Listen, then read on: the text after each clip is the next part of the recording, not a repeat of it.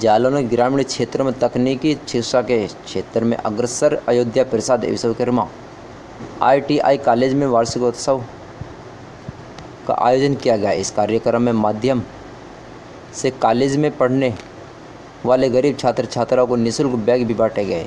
तो वहीं छात्राओं ने नाटक के माध्यम से बेटी बचाओ, बेटी पढ़ाओ का संदेश भी दिया।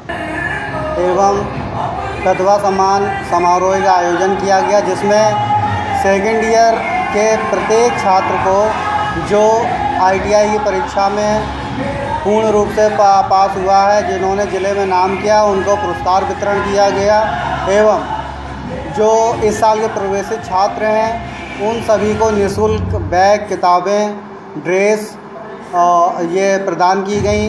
हमारे कॉलेज का मुख्य उद्देश्य ये है कि छात्र चाहे जितना भी गरीब हो, उसे तकनीकी शिक्षा प्राप्त हो। ग्रामीण क्षेत्र में अधिकांश बच्चे फ़ीस अधिक होने के कारण या उनके पास रुपए न होने के कारण वे तकनीकी शिक्षा नहीं प्राप्त कर सकते हैं, नहीं कर पाते हैं। इसी कारण से हम लोगों का मुख्य उद्देश्य उन गरीब बच्चों को शिक्षा प्रदान करना है।